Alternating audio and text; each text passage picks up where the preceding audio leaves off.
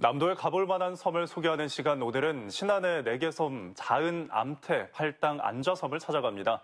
연도교 덕분에 하나의 섬이 된 이 섬들은 각각 색다른 매력으로 관광객들을 유혹하고 있는데요. 박성호 기자가 소개합니다. 신안 송공항에서 30여 분가량 배를 타고 들어가면 다리로 연결된 작은 섬 4개가 모습을 드러냅니다. 백사장이 많아 해수욕장이 9개나 있는 자은도는 올여름 두 곳을 개방했습니다.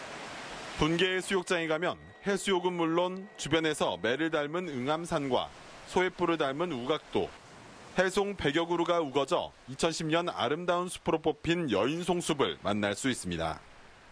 자원도는 지금 이름에서 풍겨나온 그대로 은혜롭고 사랑스러운 고향입니다. 그래서 해수욕장이나 야산들이 높지 않고 부드럽고 암태도는 조용한 힐링 휴양지로 안성맞춤입니다.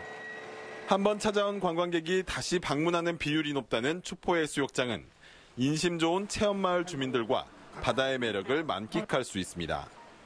저녁 노을도 좋고요. 낙조도 좋고 그리고 여기 같은 경우에 조용한 해변가, 솔밭 이런 게 참 좋은 것 같습니다.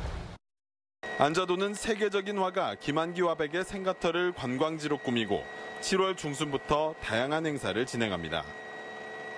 살아생전 걸어서 섬을 나가보고 싶다는 할머니의 소망을 담아 만들어진 1.4km의 천사의 다리는 안자도 관광에서 빼놓을 수 없는 명소 중 한 곳입니다.